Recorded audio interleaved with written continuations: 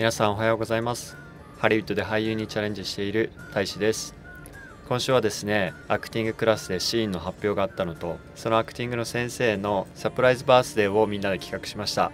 それでは早速行ってみましょう。はい。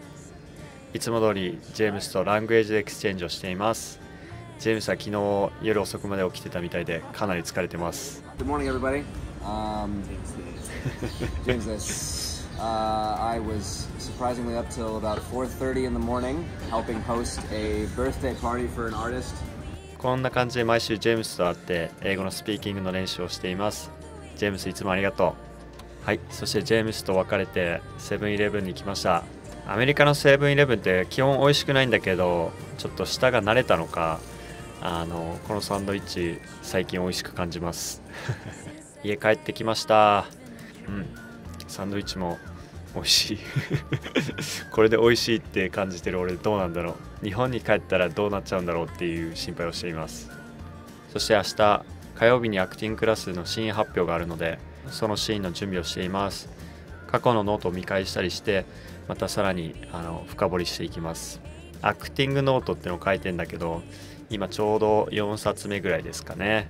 うん、えー初めて、えーシーンを発表するんでかなり緊張してるんですけど精一杯やりたいと思います。はい。そしてコマーシャルのオーディションが入ったんでいつも通り撮影してます。そして手を見せるのとあとこの横顔を見せるこのスレートはコマーシャルだったら基本的にやりますね。えっ、とオーディションの内容は今までで一番幸せだった時の話をしてくださいって言われたのでしています。どんな話をしたかは内緒です。で、えー撮影が終わってちょっと休憩です。こうやってパソコンをいじりながら漫画とか読んだりしてます。下がカーペットなんでよく寝転ぶのが僕の癖ですね。そしてメーガンとリハーサルですね、えーでここはメーガンのお家で最近引っ越ししたみたいですね。すごいいい家でした。かなり重いシーンなので2人とも真剣に向き合ってます。もう何回泣いたか分かんないですこのシーンをやって。あと英語がやっぱねちょっと苦戦しちゃうね。なかなかスムーズに出てこなかったりするのが結構大変ですね。ちょっと明日のシーンどうなるか分かんないですけどまあメーガンと一緒に一生懸命やってきたんでなんとかなると思います。頑張るぞ。そして、えーメーガンとのシーンリハーサルが終わった後 WeWork で軽くさっきやったリハーサルの修正とかをしています。はい帰ってきました。ちょっとね疲れてます。で今持ってる荷物はリハーサルの時に使った小道具です。結構こういう風にあの自分たちで小道具を用意してシーンで使ったりします。よしそんな感じで明日に向けて寝ます。おやすみなさい。はい火曜日ですね。今日はアクティングクラスでシーン発表があります。頑張っていきたいと思います。でね朝散歩するとやっぱ一日を気持ちよくスタートできるから割とこれは習慣にしていきたいなと思ってます。散歩おすすめです。はい。そして、えープロテインシェイクを作ります。たまにね、えープロテインシェイクを洗い忘れるんだけどプロテインが腐るとねマジ臭いからみんなプロテインシェイク飲んだ後はしっかり洗おうね。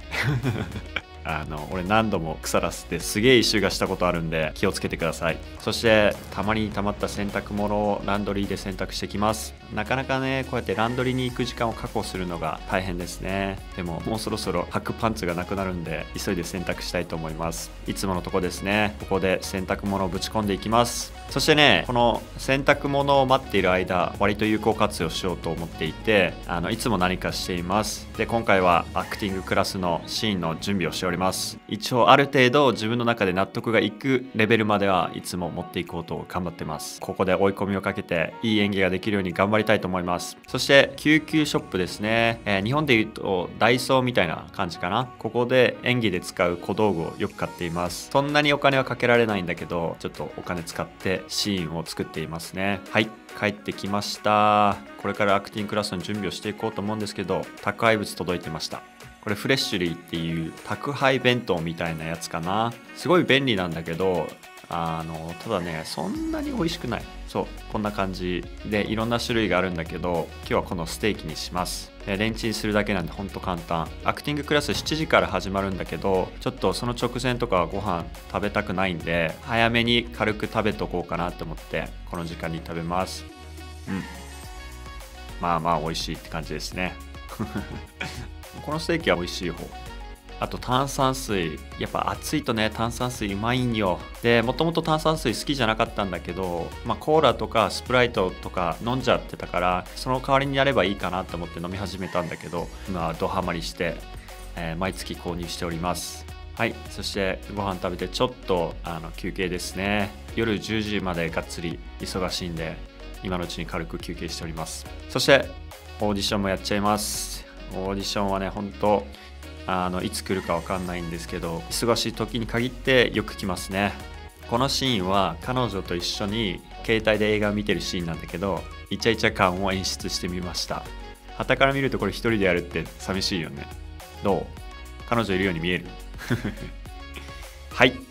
こんな感じでオーディション終わってアクティングクラスの小道具の準備しています。こういう小道具はアクターが自分で準備するんで結構ね荷物多くなっちゃうんですよ。でもこれがアクターやってるぜっていう風に感じます。早速アクティングクラスに向かいたいと思います。行ってきます。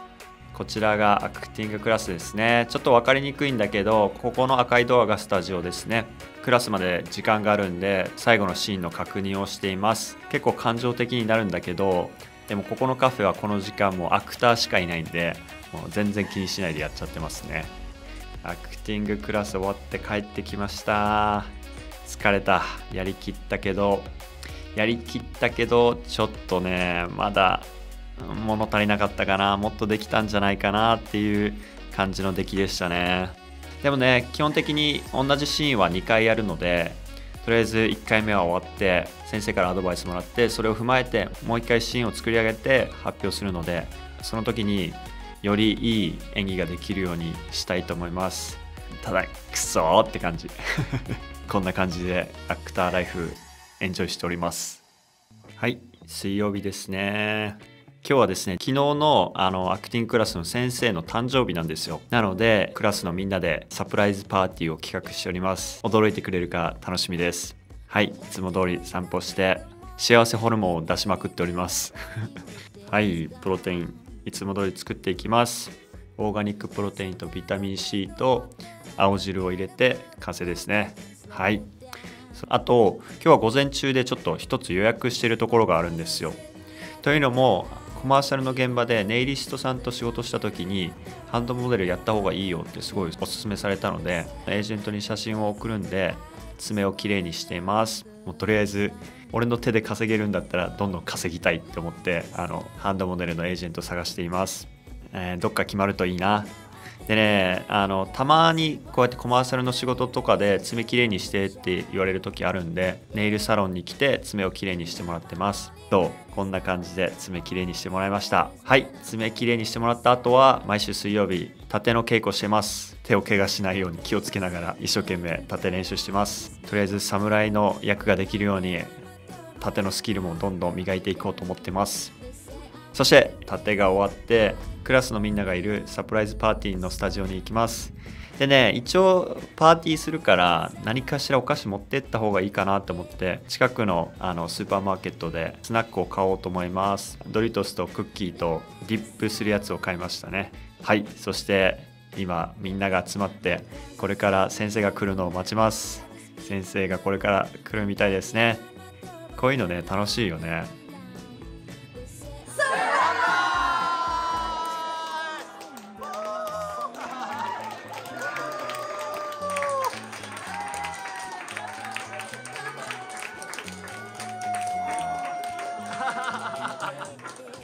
サプライズ大成功です。全然気づいてなかったみたい。すごいねみんなアットホームでそしてあの先生もすっごくよくしてくれるんでアクターとして毎回クラスに参加するために勇気づけてくれます。本当にいいクラスだなって思います。すごい楽しい今。はい。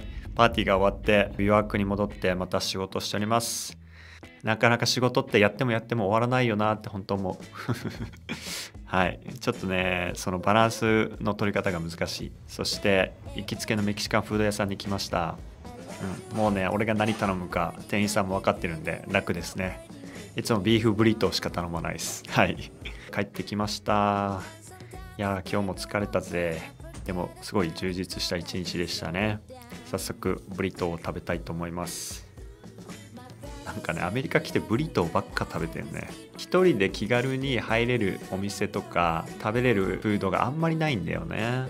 日本みたいにさ大戸屋とか定食屋さんがあったら最高なんだけどアメリカの吉野家もあんまり好きじゃないからさそこでいつも悩んでます。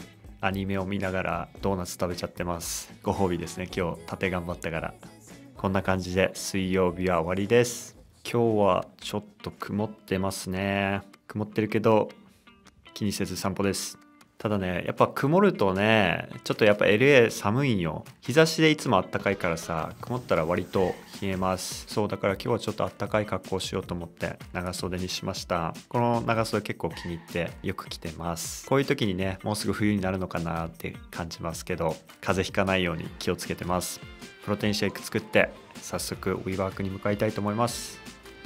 はいウィーワーク着きました。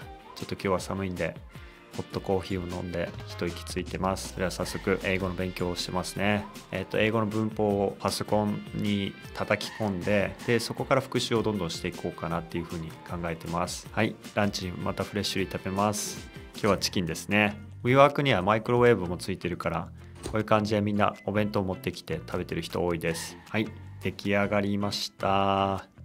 なんかあんまり美味しそうに見えないね。映画を見ながらご飯食べてます。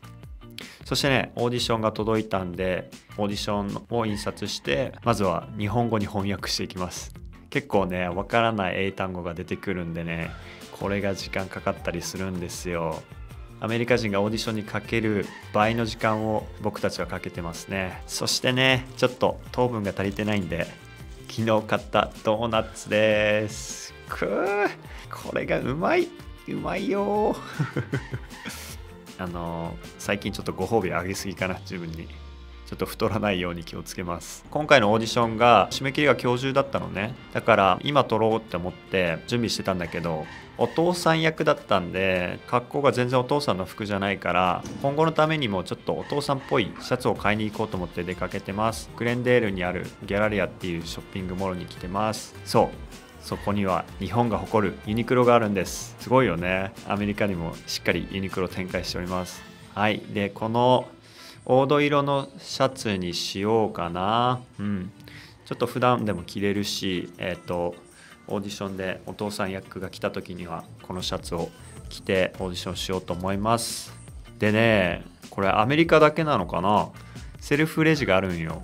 買いたい服を入れて支払いしていくって感じですね。